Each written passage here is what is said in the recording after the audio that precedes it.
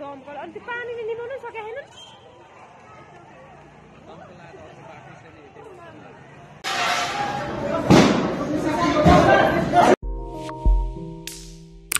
Thank you.